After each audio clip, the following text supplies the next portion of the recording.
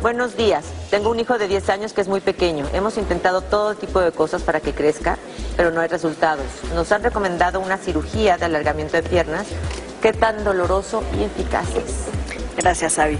Bueno, primero que nada, muy importante, como ya lo he dicho en, en, otros programas, la consulta constante con el pediatra, porque así es como vamos notando cómo va el crecimiento de los niños. En segundo lugar, hay que ver la talla de ambos papás. Eso.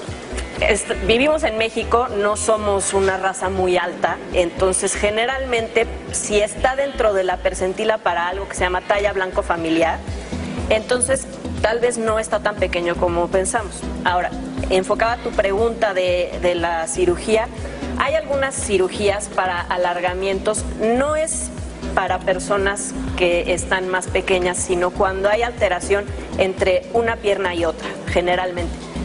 Sí, sí es doloroso.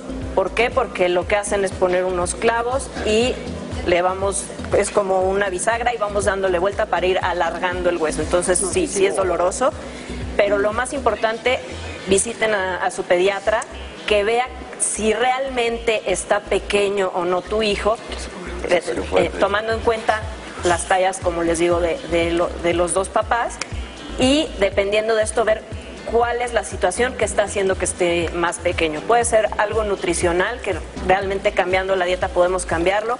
Hay ejercicios de alto impacto que nos ayudan a que los niños crezcan un poco más.